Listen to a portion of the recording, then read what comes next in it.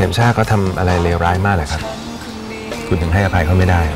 ตั้งแต่เกิดมา เกณฑ์ไม่เคยเกลียดใครเลย แต่ตอนเนี้ย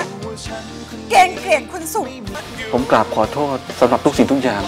ที่ผมทำไม่ดีกับวดี ลงกราบขอโทษกันขนาดเนี้ยระหว่างหนูเล็กกับคุณน่ะมีอะไรกันเหรอ หยุดเพ้อเจ้อแล้วก็เลิกฝันเฟื่องได้คืนล้นี้ 20 นาฬิกา 20 นาที ดูทีวีกด 33 ดูมือถือกด3 plus